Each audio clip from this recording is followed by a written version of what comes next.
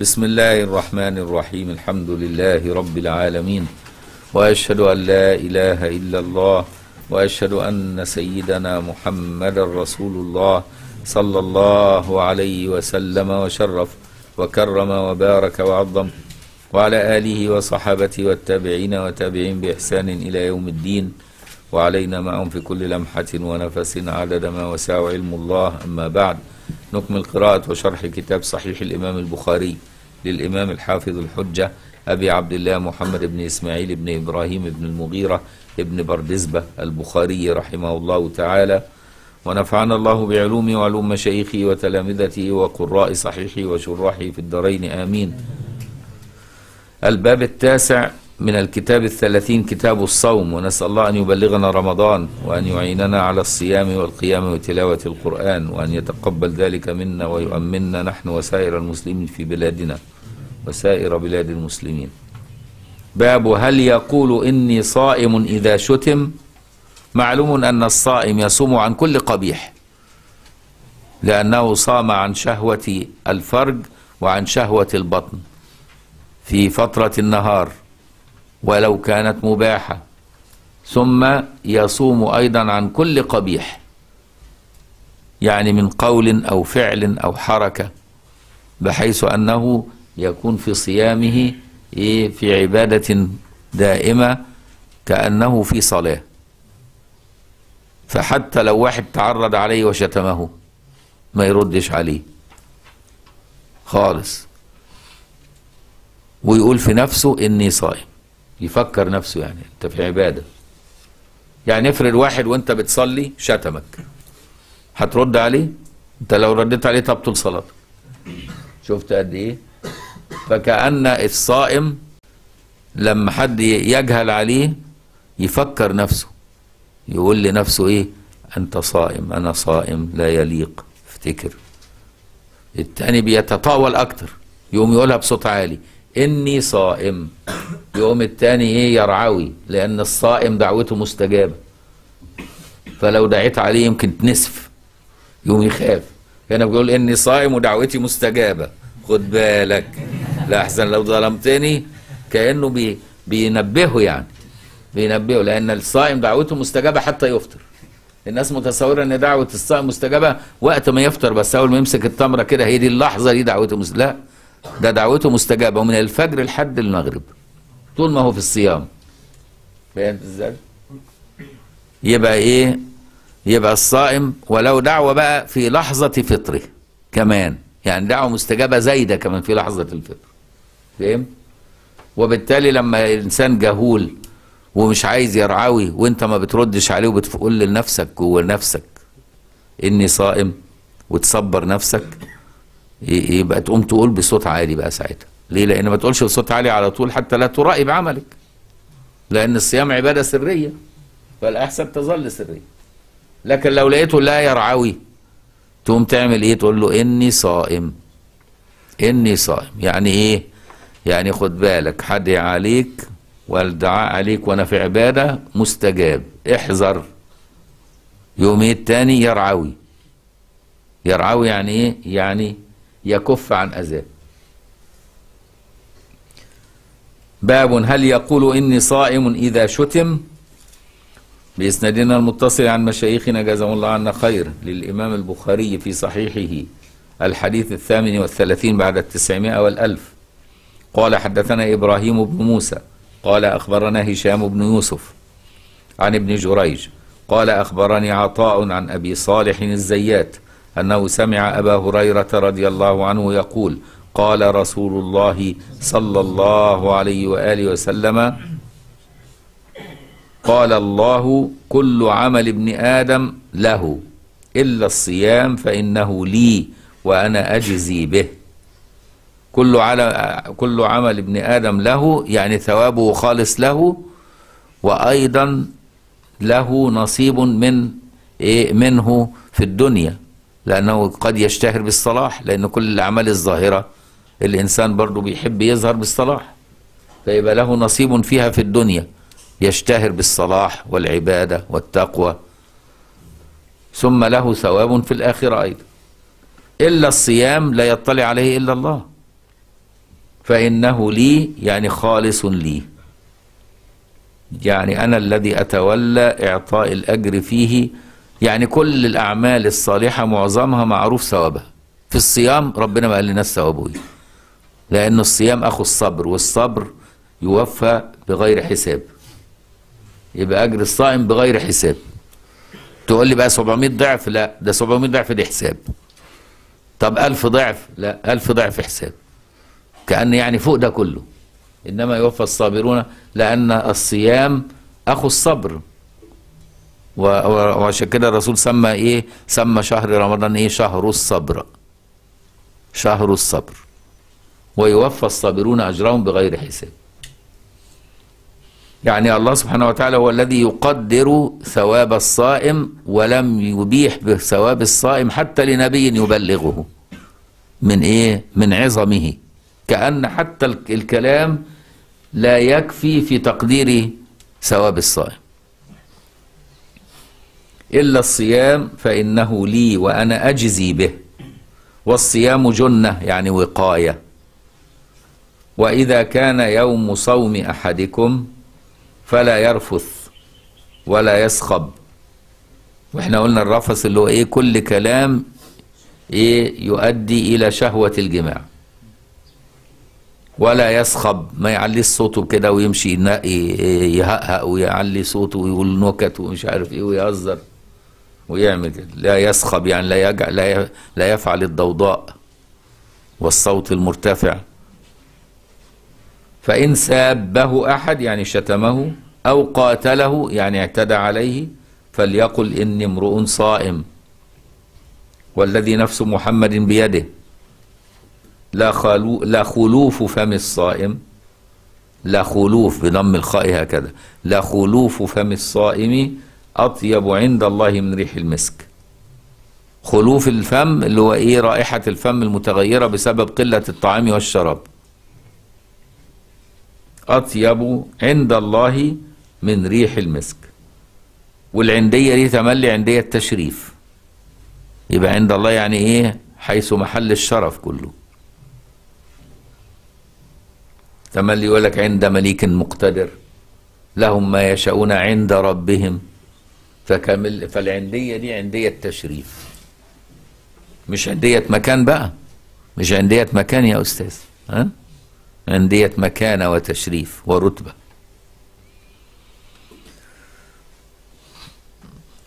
للصائم فرحتان يفرحهما. إذا أفطر فرح طبعا جعان وبيفطر بقى وعطشان وبيشرب يفرح. وإذا لقي ربه فرح بصومه أي بثواب صومه. باب الصوم لمن خاف على نفسه العزوبة. يعني لو واحد بيتوق إلى النساء وليس عنده إيه؟ القدرة على الزواج. ليس عنده مال وليس عنده شقة وليس عنده وظيفة. يعمل إيه؟ يبقى الصيام علاج له. باب الصوم لمن خاف على نفسه العزوبة. وعن أبي قال حدثنا عبدان عن أبي حمزة عن الأعمش عن إبراهيم عن علقمة قال بين أنا أمشي مع عبد الله رضي الله عنه وعبد الله بن مسعود. فقال كنا مع النبي صلى الله عليه وسلم فقال من استطاع الباء فليتزوج. الباء اللي هي القدرة على النكاح قدرة مالية وبدنية. القدرة المالية والقدرة المائية البدنية. فليتزوج. فإنه أغض للبصر وأحصن للفرج.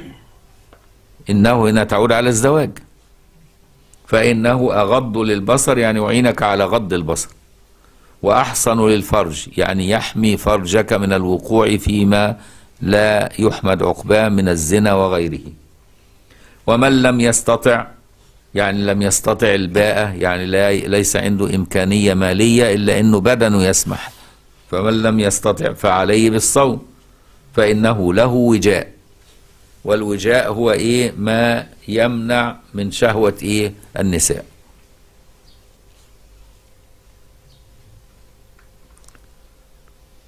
باب قول النبي صلى الله عليه وسلم إذا رأيتم الهلال فصوموا وإذا رأيتموه فأفطروا.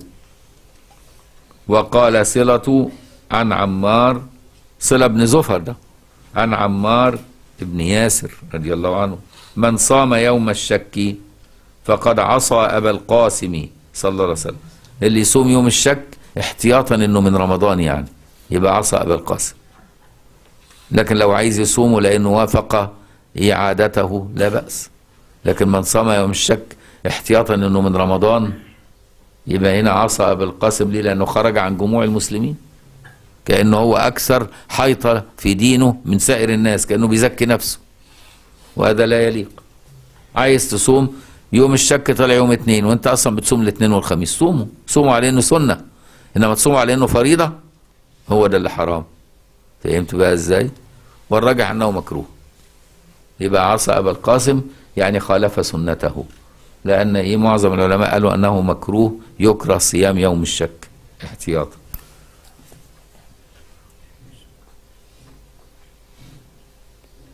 وعن أبي قال حدثنا عبد الله بن مسلمة عن مالك عن نافع عن عبد الله بن عمر رضي الله عنهما أن رسول الله صلى الله عليه وسلم ذكر رمضان فقال لا تصوموا حتى تروا الهلال ولا تفطروا حتى تروه فإن غم عليكم فاقدروا له. آه اقدروا له هنا يعني إيه؟ يعني نحسبها ونقدره ولا اقدروا من القدر التضييق؟ يعني اعتبروا إن شعبان 29 يوم. فهمت إزاي؟ مذهبان على فكرة. الحنابلة قالوا ضيق. اعتبر شعبان 29 يوم. ما تكملش ال 30 يقدروا من القدر التضييق. الحنابلة قالوا كده. وباقي المذاهب قالت اقدروا له يعني إيه؟ أتموا عدته 30 يوما. فهمت الفرق في المذهبان؟ يبقى لو طلعنا نشوف هلال رمضان في آخر شعبان والدنيا مغيمة فما شفناش. الحنابلة يقول لك إيه؟ صوم بكرة. اقدروا لا من باب إيه؟ التقدير القدر يعني إيه؟ التضييق. من قدر عليه رزقه يعني ضيق عليه رزقه. فاقدروا لا يعني ضيق شعبان. اجعله 29 ده فهم مين؟ الحنابلة لكن فهم باقي الفقهاء قالوا لا. ليه؟ لأن في رواية تانية فأتموا العدته ثلاثون. في رواية تانية. ما نوقفش على رواية واحدة. ما ما نقدرش نفهم الشرع من رواية واحدة. لازم نجيب كل الروايات. في الروايات التانية بوضوح كده قالوا إيه؟ فأتموا عدة الشهر ثلاثين. الله يبقى اقدروا هنا يعني إيه؟ يعني أكملوه ثلاثين. مش اقدروا ضيقوه. فهمت؟ احسبوه ثلاثين. فاقدروا لا جاية من من التقدير وليس من القدر. جاية من التقدير وهو الحساب وليس من القدر وهو التضييق. فهمت بقى؟ وعلشان كده خطورة أن تأخذ الحكم الفقهي من حديث واحد. بل لابد أن تجمع كل الأحاديث الواردة في المسألة. وعشان كده الراجح هو قول الجمهور إنه إذا غم علينا نكمل شعبان 30 وده اللي عليه العمل والحمد لله. وعن أبي قال حدثنا عبد الله بن مسلمة قال حدثنا مالك عن عبد الله بن دينار عن عبد الله بن عمر رضي الله عنهما أن رسول الله صلى الله عليه وسلم قال الشهر تسع وعشرون ليلة فلا تصوموا حتى تروه. يعني أقل حاجة في الشهر تسع وعشرين. يبقى إحنا بعد تسع وعشرين نروح إيه؟ نشوف الهلال. لكن ما نروحش نشوف الهلال يوم 28 مش كده برضو؟ الشهر تسع وعشرون يعني أقل الشهر تسع وعشرين الشهر الإيه؟ القمري. ليلة. فلا تصوموا حتى تروه. فإن غم عليكم فأكملوا العدة ثلاثين. شفت بقى فاقدروا لا جاية من التقدير وليس من التضييق من القدر. فهمت بقى؟ يبقى الرواية الثانية بينت أن الجمهور هم اللي عندهم حق في هذه المسألة إيه؟ خلافا للحنابلة. فإن غم عليكم أي الهلال, أي الهلال يعني. فأكملوا العدة ثلاثين. طب افرض السماء كانت صحو. صحو يعني ما فيهاش أي غمامة. وما شفناش الهلال. يبقى 30 100% مش هنقدر بقى ده هو 30 يوم 100% سماء صحو لا سحابه فيها. وكلنا طلعنا نشوف الهلال ما فيش هلال. يبقى خلاص ده شعبان 30 يوم يقينا. فهمت إزاي؟ لكن لما يبقى في بقى إيه سحاب يبقى غمة غمة هنا بقى نعمل إيه؟ احتياطا نكمل شعبان 30 طب ما ممكن واحد يقول لك إيه؟ اصل الهلال ممكن يبقى ورا السحاب. نجيب طيارة كده ونطلع فوق السحاب ونشوف. قال لك لا لأنك متعبد بإيه؟ بواقع الأمر ولست بنفس الأمر. ربنا يتعبدنا بواقع الأمر وليس بنفس الأمر. يعني يمكن نفس الأمر الهلال موجود بس أنا اللي مش شايفه. يبقى نفس الأمر قد يكون واحد رمضان. لكن واقع الأمر إيه؟ 30 شعبان مش واحد رمضان. وربنا تعبدني بواقع الأمر ولا بنفس الأمر؟ بواقع الأمر. الواقع اللي أنا شايفه مش بنفس الأمر. فهمت بقى إزاي؟ فدي نقطة مهمة. والحساب الفلكي هو. ساعات بيبقى بيعارض الرؤية. ما إحنا ملناش دعوة. إحنا عندنا في في لحد دلوقتي الحساب الفلكي لوحده لو عرض الرؤية بإجماع المسلمين إلى يومنا هذا قدم الرؤية. حتى بإجماع المسلمين. من يقول بالحساب الفلكي يقول لك افرض أن أنا حسبت ولقيت الهلال وخالف حسابي أمشي بالهلال. لأن الرؤيه يقين والحساب ظن. الرؤيه يقين والحساب ظن. لكن إحنا بنعمل إيه؟ دار الافتاء المصرية بتجمع الاثنين حساب فلكي مع الرؤيه فإن وافقوا بعض بها ونعمت. فإن خالفت الرؤيه الحساب قدموا الرؤيه وده الحمد لله ماشيين عليه بالأمان. وعن أبي قال حدثنا أبو الوليد قال حدثنا شعبة عن جبلة ابن سحيم قال سمعت ابن عمر رضي الله عنهما يقول قال النبي صلى الله عليه وسلم الشهر هكذا هكذا شوف إيه وهكذا وفي الثالثة إيه خنس الإبهام يعني 29 يوم لأن هكذا بالكفين معناها 10 وحركها مرتين ادي 20 والحركة الثالثة راح خنس يبقى 29 صلى الله عليه وسلم.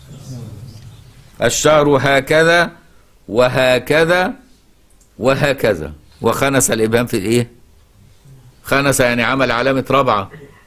ها؟ اللي هي المشهورة دلوقتي بتاعت الإخوان. ها؟ أدي معنى خنس الإبهام. في الثالث. واحد بقى يصورني ويقول لك شوف الدكتور يسري من يعمل عنه يا ابني بنشرح الحديث يا ابني. يا ابني بنشرح الحديث.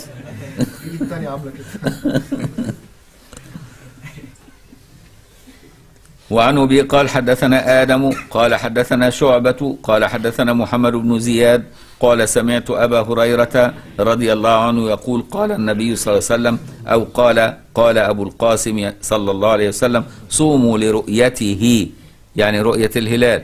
وأفطروا لرؤيته. فإن غبي عليكم غبي بمعنى غمة برضه فإن غبي عليكم فأكملوا عدة شعبان ثلاثين. والناس بتوع الحساب يقول لك إيه؟ الحساب رؤية عقلية. والتانية رؤية بصرية. فهمت إزاي؟ فالحساب ده رؤية عقلية. مش جاية من الرأي. رأى رأيا يعني إيه؟ يعني الرأي هنا العقل. ذهب مذهبا. ورأى رؤية يعني إيه بصرية.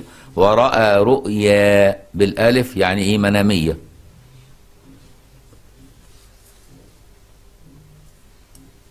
وعن أبي قال حدثنا أبو عاصم عن ابن جريج عن يحيى بن عبد الله بن صيفي عن عكرمة بن عبد الرحمن عن أم سلمة رضي الله عنها أن النبي صلى الله عليه وسلم آل من نسائه شهرا.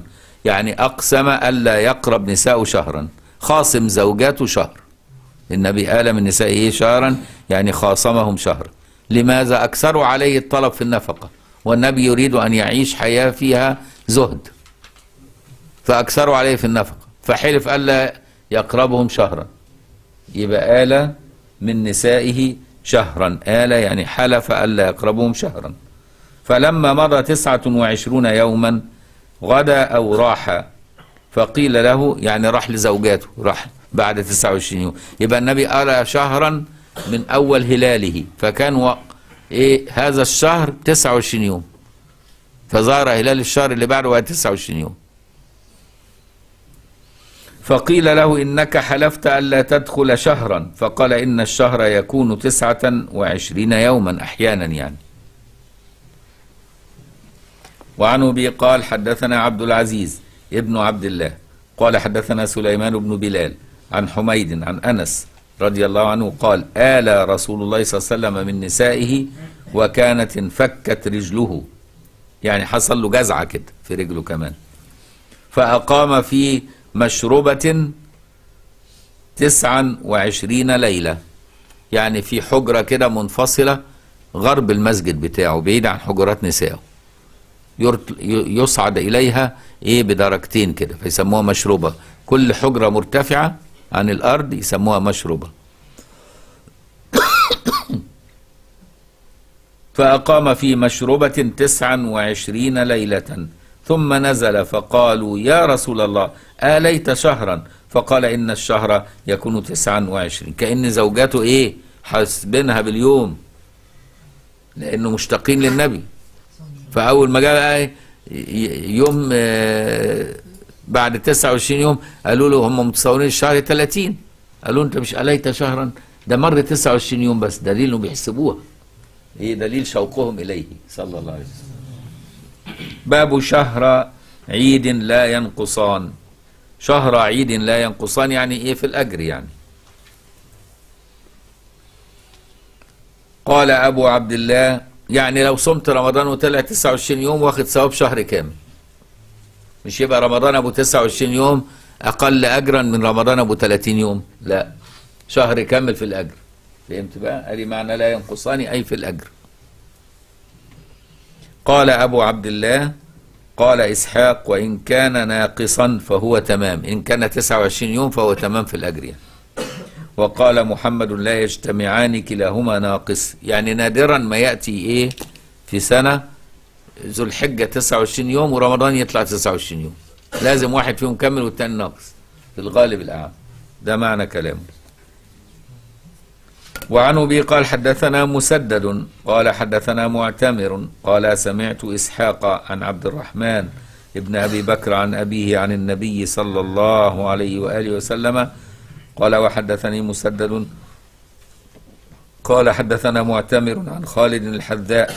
قال أخبرني عبد الرحمن ابن أبي بكر عن أبيه رضي الله عنه عن النبي صلى الله عليه وسلم قال شهران لا ينقصان شهر عيد رمضان وذو الحجة. شهر عيد. طبعا ذو الحجة عيد الفطر ال- الأضحى. ورمضان في إيه؟ بينتهي بعيد ال- الفطر. باب قول النبي صلى الله عليه وسلم لا نكتب ولا نحسب. يعني بيتكلم بح إيه؟ بوصف الواقع. واقع أمة النبي في عصره إيه؟ إنها لا تكتب ولا تحسب. كان اللي يعرف يكتب ويحسب من العرب قليلين جدا. لكن إيه؟ أغلب العرب أميين يكتفوا بالسماع وبالكلام لكن ما يهتمش بالقراءة. لأن ما عندهمش كتاب أصلا يتعلموا القراءة لأي- لكي يقرأوه. ما كانش عندهم كتاب قبل ذلك. باب قول النبي صلى الله عليه وسلم لا نكتب ولا نحسب. وعن ابي قال حدثنا آدم قال حدثنا شعبة قال حدثنا الأسود بن قيس قال حدثنا سعيد بن عمرو أنه سمع ابن عمر رضي الله عنهما عن النبي صلى الله عليه وسلم أنه قال إن أمة أمية لا نكتب ولا نحسب الشهر هكذا وهكذا. مش معنى كده إن أمته تفضل أمية على طول؟ لا. إن يعني في واقع الأمر الآن. أمتي الآن الآن المعاصرة ليا أمية.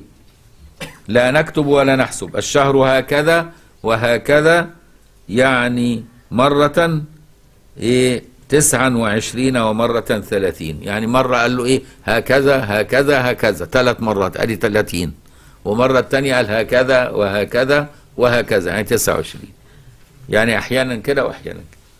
يبقى النبي لم يكلفهم غير الموجود. النبي كان لا يكلف بغير الموجود.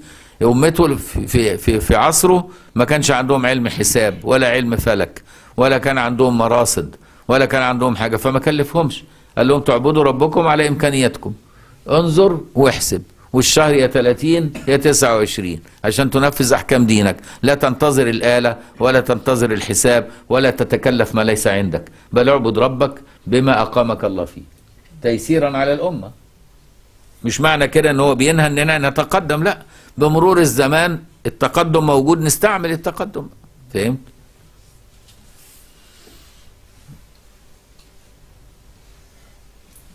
باب لا يتقدمن رمضان بصوم يوم ولا يومين. يبقى ما ينفعش احتياطا عشان قبل رمضان كده أو صوم يوم ولا اتنين احتياطي لا يكون الهلال موجود وإحنا ما شفناهوش. ما ينفعش الطريقة دي. لا تقدم رمضان بصوم تعتقد أنه من رمضان احتياطا. ما ينفعش. هذا الطريق لا لا يحبه الشرع الشريف. لا يتقدمن رمضان بصوم يوم ولا يومين. وعن أبي قال حدثنا مسلم بن إبراهيم قال حدثنا هشام قال حدثنا يحيى بن أبي كثير عن أبي سلمة عن أبي هريرة رضي الله عنه عن النبي صلى الله عليه وسلم قال لا يتقدمن أحدكم رمضان بصوم يوم أو يومين إلا أن يكون رجل كان يصوم صومه. المعتاد يعني صومه اللي هو متعوده. فليصم ذلك اليوم. يعني وافق عاد له يصومه لأنه دي عادته. باب قول الله جل ذكره أحل لكم ليلة الصيام الرفث إلى نسائكم هن لباس لكم وأنتم لباس لهن. علم الله أنكم كنتم تختانون أنفسكم فتاب عليكم وعفى عنكم فالآن باشروهن وابتغوا ما كتب الله لكم. وعن أبي قال حدثنا عبيد الله بن موسى عن إسرائيل عن أبي إسحاق عن البراء رضي الله عنه قال كان أصحاب محمد صلى الله عليه وسلم إذا كان الرجل صائما فحضر الإفطار فنام قبل أن يفطر لم يأكل ليلته ولا يومه حتى يمسي. يعني واصل زي ما شرحنا بالأمس مراحل فرضيه الصيام. يعني لو جاء عليه المغرب وكان نائما ولم يفطر حتى لو استيقظ في الليل ممنوع يأكل. يتم للإيه؟ لليوم اللي بعده. حتى يمسي. وإن قيس بن صرمة الأنصاري كان صائما فلما حضر الإفطار أتى امرأته فقال لها أعندك طعام؟ قالت لا ولكن أنطلق فأطلب لك. وكان يومه يعمل فغلبته عيناه فجاءته امرأته فلما رأته قالت خيبة لك. يعني خيبك كلام المصريين لأن لقيته نايم نايم يعني مش هياكل.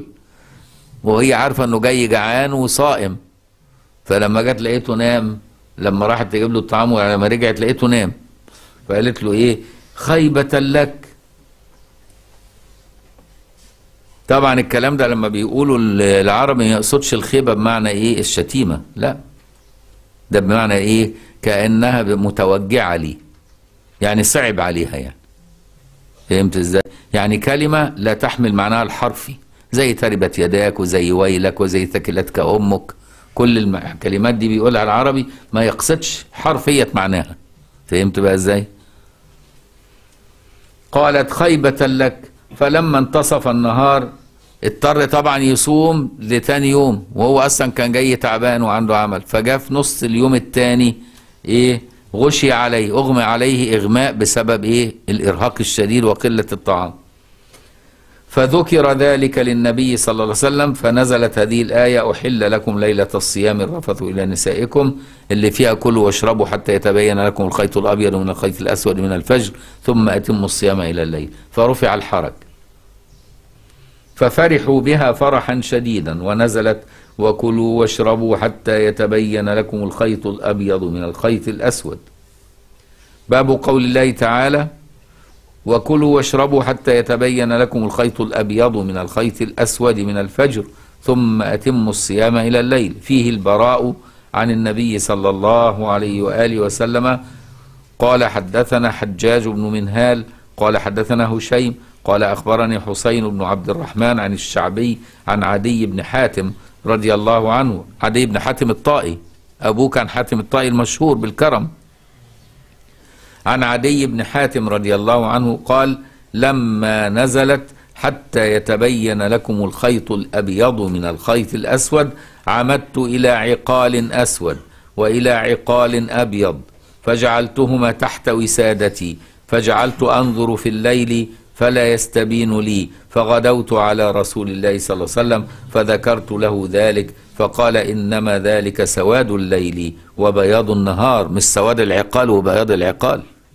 هو جاب العقال يعني العقال ده اللي زي بيلفوه ده خيط أسود وخيط أبيض وحطهم عنده وقاعد نايم. كل ما يقوم ما يتبينش السواد من البياض ياكل. فالرسول صلى الله عليه وسلم قال له ان وسادك عريض. يعني انت المخدة بتاعتك دي هي السماء عريضة. فالبياض والسواد في السماء وليس في الخيط والعقال. فهم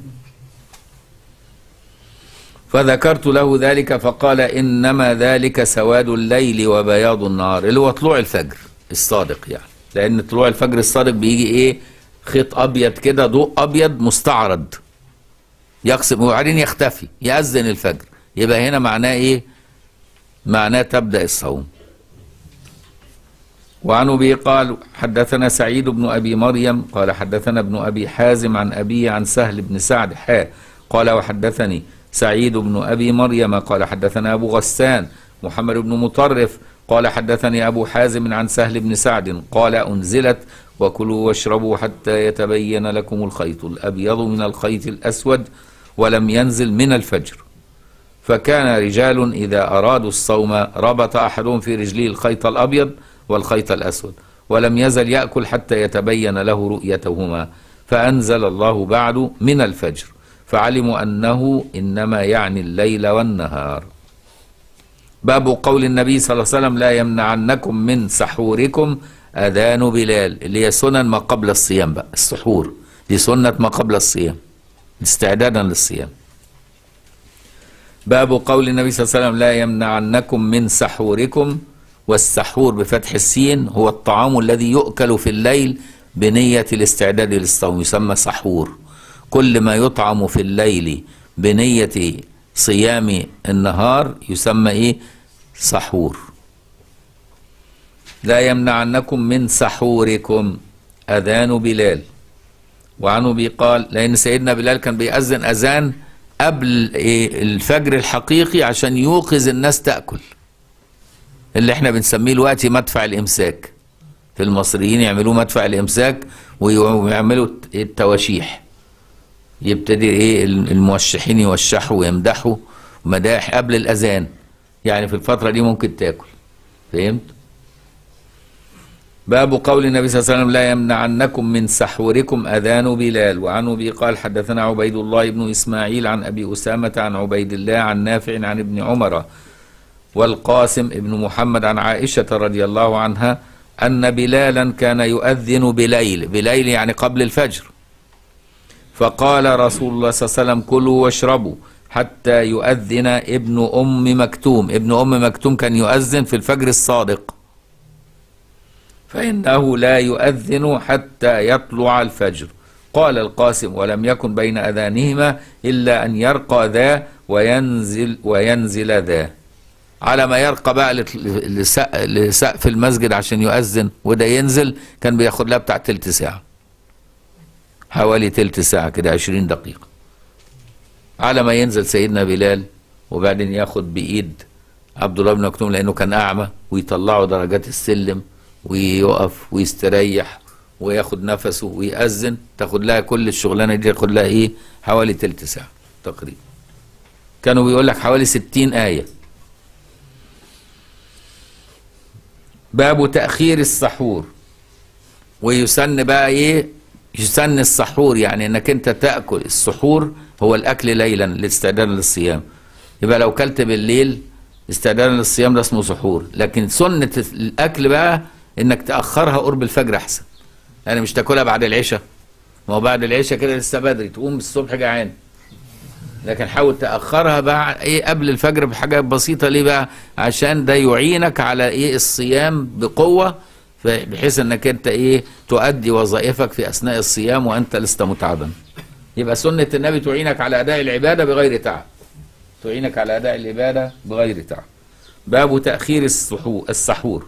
وعن أبي قال حدثنا محمد بن عبيد الله قال حدثنا عبد العزيز ابن أبي حازم عن أبي حازم عن سهل بن سعد رضي الله عنه قال كنت أتسحر في أهلي ثم تكون سرعتي أن أدرك السجود مع رسول الله صلى الله عليه وسلم. يعني صلاة الصبح يعني.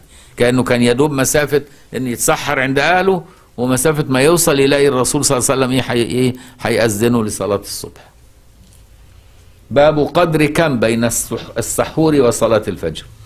وعن أبي قال حدثنا مسلم بن إبراهيم قال حدثنا هشام قال حدثنا قتادة عن أنس عن زيد بن ثابت رضي الله عنه قال تسحرنا مع النبي صلى الله عليه وسلم ثم قام إلى الصلاة. قلت قام إلى الصلاة يعني الأذان. خد بالك قلت كم كان بين الأذان والسحور؟ لأن قال الأذان هنا مكان الصلاة. فهمت؟ لحسن تفتكر الإقامة. تقوم يبتدي ياكل طالما أذن ولسه الإقامة ما قامتش. في عيال فهمتها كده وكانوا يقعدوا ياكلوا لأنه بيفهموا الأحاديث بنفسهم بما يوافق هواهم. فهمت؟ ولا لا ده هنا إيه؟ بيقول إيه؟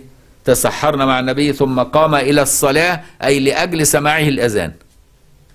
فهمت بقى؟ مش قام للصلاة بعد إقامة الصلاة لا. قام إلى الصلاة قلت كم كان بين الأذان والسحور؟ قال قدر خمسين آية. يبقى إيه هنا بين بين لك القدر اللي هو إيه ما بين ده, يطلع وينزل. يطلع وينزل يعني معناها إيه قدر خمسين آية. والخمسين آية تقريبا بتتقري بالقراءة ال- الهاد- الهادئة في حوالي تلت ساعة.